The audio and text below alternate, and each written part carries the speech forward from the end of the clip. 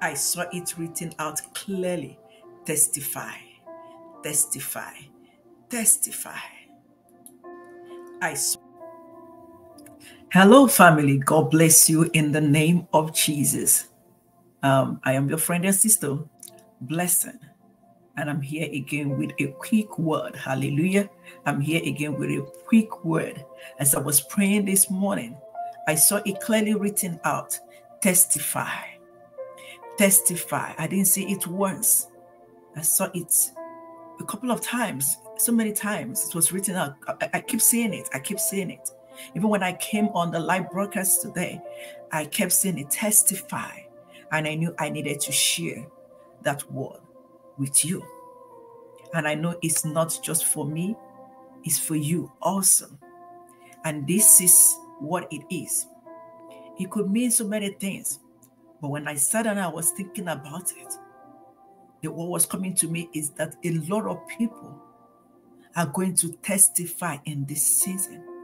It is time for them to testify. It is time for them to testify. It is time for them to testify. And not only that, there are some people whom the Lord has blessed. They have received the testimony they have not testified. So, this is also your time and your season to testify of that past testimony, that past blessings that you received, that testimony you've been holding. It's time for you to testify. Because when you testify, the Lord will do more for you. And when I looked up, I already know the meaning of testify, but I said, let me just go ahead and look up what it means. What testify means.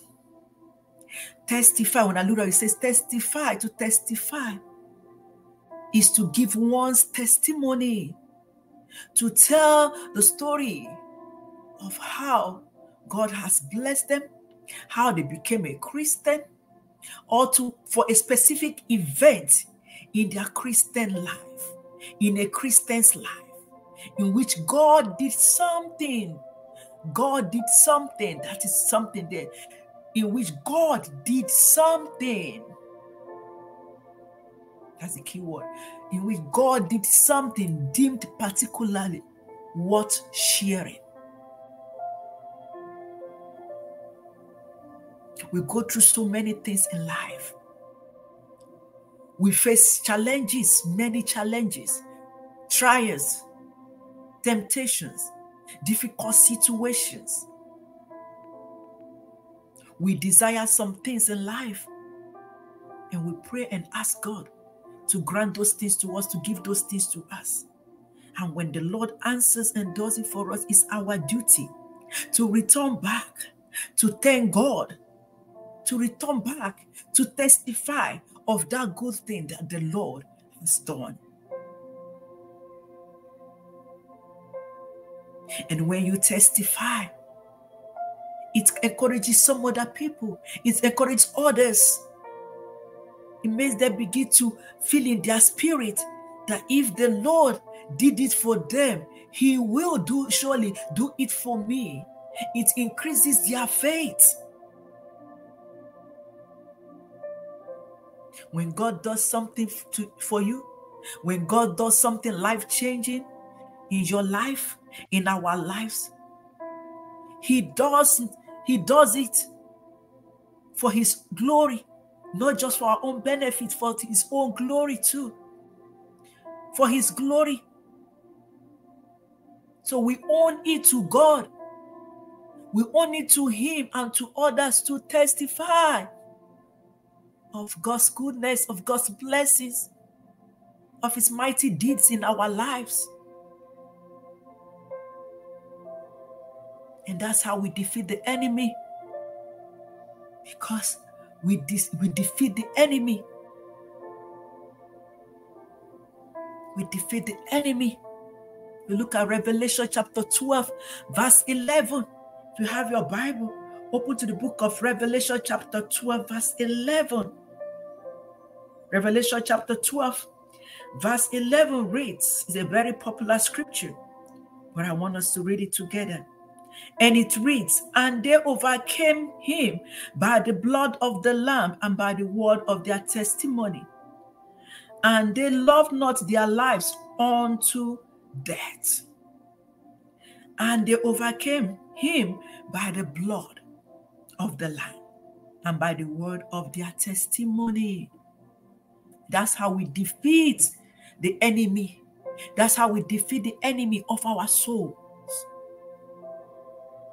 When we testify, it opens the way for more blessings. Never, never, never must we underestimate the power of testifying, the power of testimonies. I always share with my people in, my, in the ministry. Share your testimonies. When you share your testimonies, the Lord will do more for you. I always encourage to share. There's nothing like small, small testimony. There's nothing like little. As far as you cannot do that thing and God did it for you, you need to share. It's to his glory.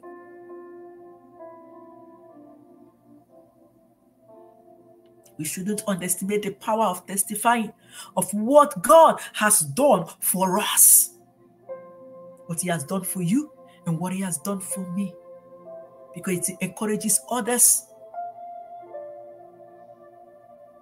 When we testify, it is an act of thanksgiving and worship to God.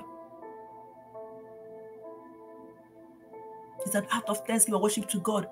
You are recommending God to someone telling that person that God is the solution to any problem, situation, difficulties, whatever it is, that God is.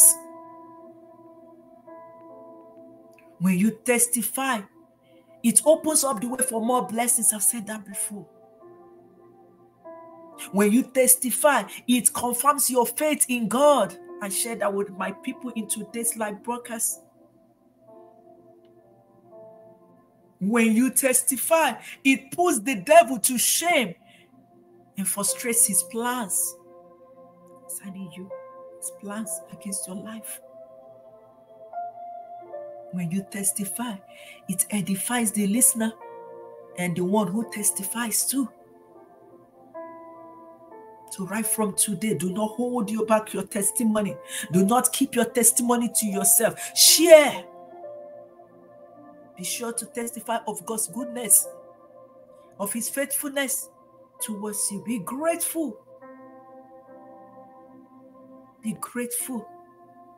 Be very, very grateful. For there is great power in your testimony. There's great power in your testimony. There's great power in your testimony. And I'm going to round up with this scripture. If you look at the book of Psalms, chapter 66, verse 16. Psalms chapter 66, verse 16.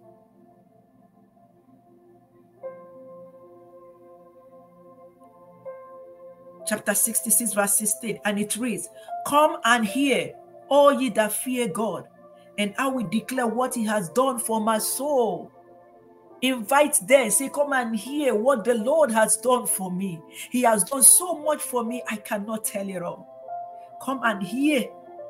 All ye that fear the Lord, come and I will declare, I will tell, I will testify, I will let you know what He has done for my soul, what He has done in my life, in my family, in my home, in my marriage. So, right from today, do not hold back your testimony. Share.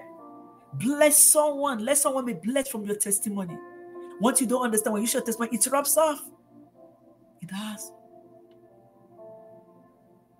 People's faith grows, increases as you share your testimony.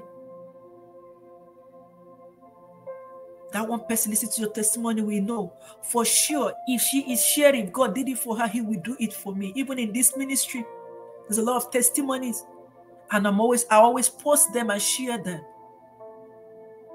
And if the Lord does it for her, if the Lord is doing it for her, doing it for her, doing it for her, He will do it for you. Have faith. Do not hold back your testimony. Even as I said, I saw it clearly. Written out, testify. You will testify of God's goodness. This is your season to testify. This is your season to testify of God's deeds, God's blessings. That breakthrough you'll be waiting for is coming your way. Receive it in the name of Jesus. And you who has been holding back your testimony, it's time to share. Release that testimony so that you can receive more. God bless you in the name of Jesus. I know this message has been a blessing to someone.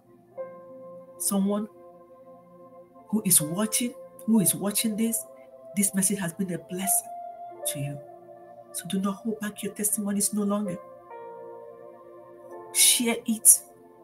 Let it bless someone. Let someone be blessed from that testimony. And most importantly, know that when you share that testimony, it's to the glory of God, not just to your own benefit, but to the glory of God. So God bless you. Shalom and remain blessed. In Jesus' name. Amen. Thank you for connecting and thank you for watching. You shall testify. Your testimony is guaranteed. In Jesus' name. Amen. God bless you. Shalom.